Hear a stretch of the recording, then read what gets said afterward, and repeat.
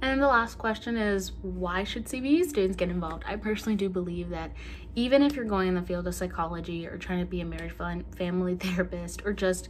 any career path, I definitely do believe that being not only a people person, but being able to communicate to a team or just any work environment you're going to be in, you're going to be working with people. And I do believe being a mentor is just being able to not only enhance your own leadership skills, but it's also having an open mind and being teachable and growing with your little as much as my little has helped me grow in many ways. She's done that for me and that just really just comes to show that you don't know the impact you might have on someone's life and how someone else might have an impact in yours. So i definitely do think cbu students of any career or any major should definitely get involved with big brother big sister that it's an amazing organization that just really focuses